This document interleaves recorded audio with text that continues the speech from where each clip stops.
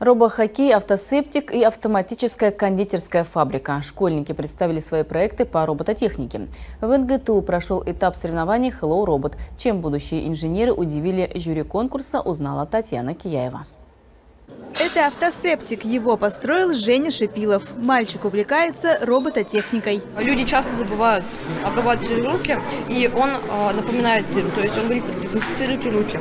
Поскольку модуль слабый, э, звук плохо слышно. Современные проблемы требуют современных решений. Например, этот робот на колесах должен подъезжать к людям и измерять их температуру тела. Такое изобретение может работать в торговых центрах, школах и вузах. Это умный гараж, умный дом и умная машина. А, во время пикового потребления, это примерно с 6 до 9, а, машина подключается к гаражу и передает из себя энергию в дом. Проекты ребят затрагивают разные отрасли – энергетику, автоматизацию, авиастроение и мехатронику. Видите, они о транспорте говорят, они и о укладке конфеты, о помощи работникам, и уборке улиц. То есть это те проблемы, которые они видят вокруг себя. А это значит, что в будущем они сумеют применить вот свои пробы профессиональные именно в этих областях. Это же растет наша будущая смена, элита инженерного, технического образования. Ребята видят разные проекты и вдохновляются идеями друг друга. Такие соревнования формируют интерес у школьников к инженерной графике, математике и физике. Мы пытаемся со своей стороны подобрать абитуриентов, будущих студентов для себя.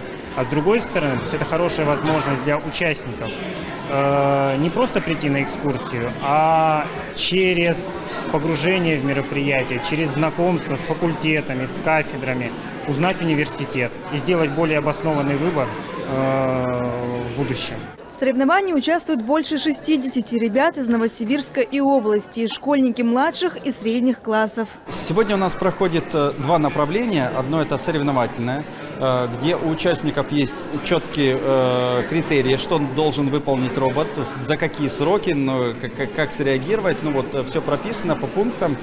Собственно, участники будут тренироваться, у кого точнее робот сможет выполнить, у кого точнее, быстрее выполнить задание. Второе направление – творческие проекты. Их оценит специальная комиссия. Победители получат очки виртуальной реальности, дополнительную камеру на телефон и компьютерные мышки. Татьяна Кияева, Олег Кролевец, Новосибирские новости. Спасибо, что смотрите канал «Новосибирские новости». Мы рады предложить вам интересное и полезное видео.